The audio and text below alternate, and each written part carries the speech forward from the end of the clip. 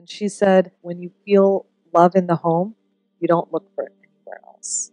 One of the things I've seen across the board with all of these young women is that they have very, very strong positive relationships with their fathers. The fathers have been investing in their daughters from a very young age. And I know of a young girl who her dad has taken her out to brunch once a week since she was a little girl. Maybe there was no big exciting conversations, but it was time just being spent together. Now the daughter's in college and she openly will tell her dad if she has a crush on a guy or if she's interested in somebody or if she's got questions about marriage proposals that are coming her way. And the dad is being taken into confidence. And one of the things uh, this young woman once told me is that had a big impact on her is she once felt uncomfortable around a certain uncle in the community, and that uncle was a good friend of her father's.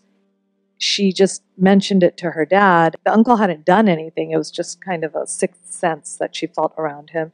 And she expected her dad to defend him, to tell her not to think like that, to na- not, you know, make any kind of assumptions.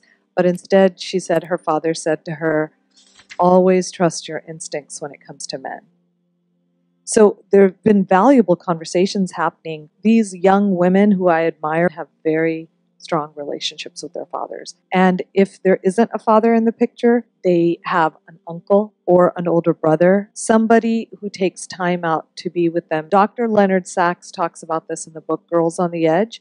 He said that girls in high school who don't engage in premarital sexual relations, who don't engage in drug experimentations. He said across the board, what those girls had in common was they had a father who showed up to all of their events, a father who showed up to their spelling bees and their sporting events, letting her know that she's valued.